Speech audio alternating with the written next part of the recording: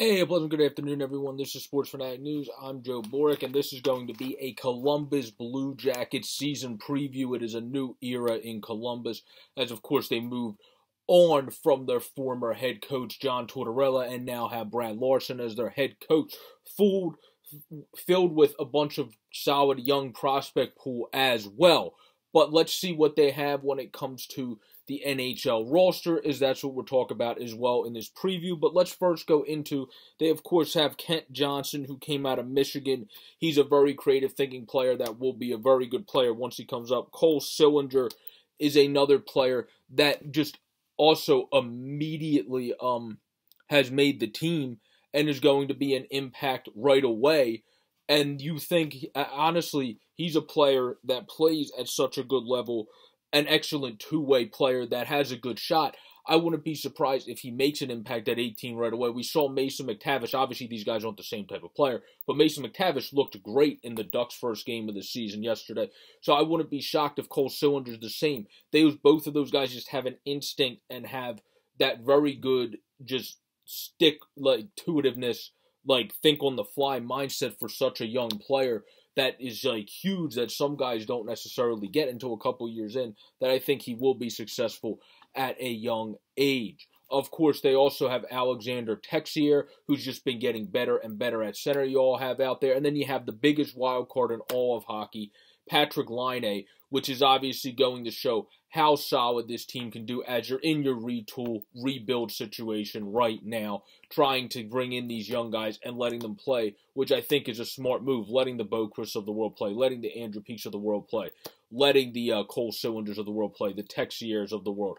I think letting all these guys play is a very smart move. Plus, um, plus also having Yegor Chinakhov make the team too, who was another one of your top prospects, another guy that's a mature two way player. So with Sillinger and Chinakhov, you're adding good two way players that just need to add a little bit more strength, but that's expected. One's 20, one's 18. So you have good players. You got two good net minders, both at 27. Elvis Merzlikins you just extended to a good contract, a good cap hit of four million in my eyes, and he's going to be a good goalie for the future. You have Korpi for now, who you can use as trade bait, and you have draft picks too that you can use to grab some people in the draft or use to get younger guys in trades as well. Of course, Jake Bean now is in Columbus. That's a very nice pickup, a good offensive potent defenseman that can move the puck a little bit. Having him with Werenski, I think, would be good. Having Gavrikov now in his prime years of getting to 25, maybe he's going to continue to develop and get going. And then Domi is, of course, the other wild card that is not named Patrik Laine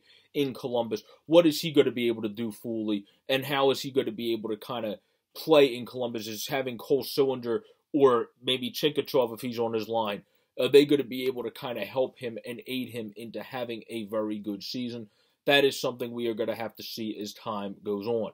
And then, of course, Blue Jackets, um, yeah, uh, Kekalainen is very good at picking up guys from overseas as he picked up another guy in terms of Gregory Hofmann, who played over in Switzerland, played in the Swiss club, ah, Swiss Cup, excuse me, and played good in the playoffs in, the NL as well.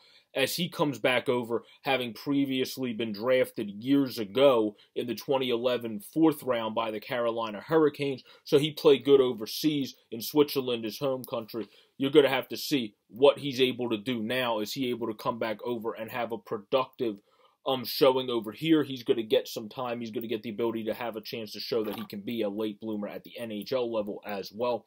And we'll see what that's able to do. But this team, of course, they brought in Jake Voracek too from the Flyers, bringing back Jake Voracek into the fold. He's a great veteran to have as you're retooling, as you're rebuilding, to hold a bunch of people accountable and in check.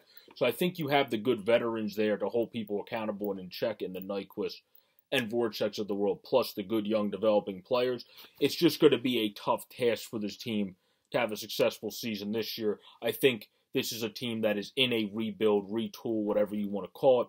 You moved on from Tortorella because Tortorella is a guy that always wants to compete, always wants to find a way to win in any way, shape, or form. Which right now I think the Blue Jackets with Kekalainen, you're trying to keep building up those great Sillinger level, those great Chinakhov level prospects, Texier level prospects that are able to just be the next part of the success core going forward. That is really going to help you out going forward and help you to be that very strong team that we saw the Blue Jackets be with Bobrovsky and even the last couple years of Tortorella still continuing to have success and find ways to have success, you're going to be that team that's able to have that for a more longevity period of time because bringing in all these young guys is a good success story written in the future for this Blue Jackets team since you are a middle market team and can't spend as much money as the Torontos of the world and other teams out there. So I think this is a smart strategy by Kekalainen. I think it's going to take a little bit quicker than people anticipate in terms to get back to being successful because you already have Sillinger up. You already have Chinakhov up. Say Hofmann does come over and does well. You have Texier. You do have the guys, like I said, Nyquist and Voracek, veterans that just know what they're doing and know how to help guys and guide guys along. So you have the foundation pieces in place. It's not going to be a winning season this year just like it wasn't last year.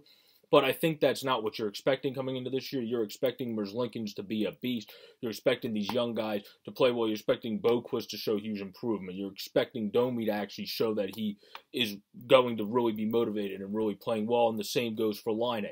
So if all those things happen, you're moving in the right direction, plus your young guys starting to develop, you're moving in the right direction in Columbus to have a successful team again and have these young guys come in. Plus with the draft picks you have this year, you have two draft picks. You're able in the first round, you're able to kind of get guys and continue to add to that core that Kekalainen has been developing to have a pretty damn good farm system down there. So I hope you all enjoyed this Columbus Blue Jackets season preview. Down below, you can subscribe or up above in the nice, easy to use widget. Stay safe out there, everybody, and enjoy the season, Blue Jackets fans. Good luck to you all.